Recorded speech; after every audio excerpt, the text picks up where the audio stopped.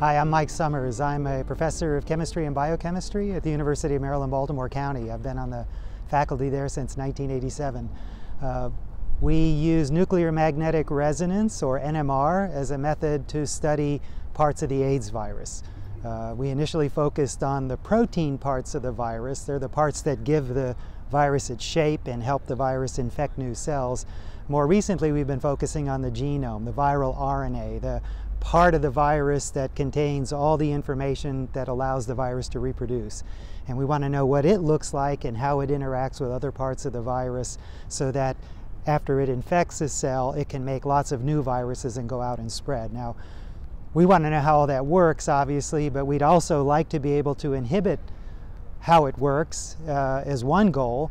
And a second goal, uh, honestly, is to, if we, if we really understand how the RNA works, how the genome works, we or others might be able to engineer viruses to do good rather than harm.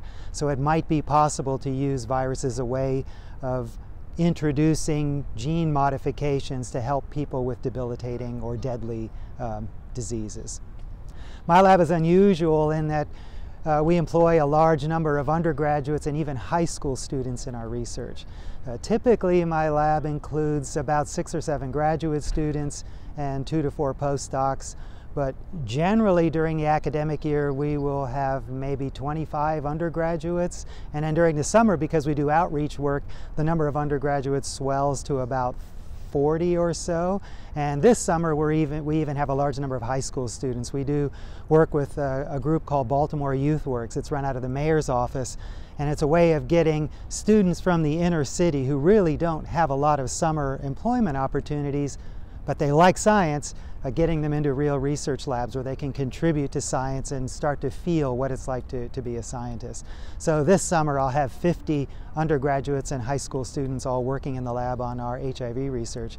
Uh, we don't have any backburner projects. The undergraduates and high school students work side by side with the graduate students and often contribute to publications. Uh, our last two science papers together had 18 undergraduate and one high school students as, as co-authors.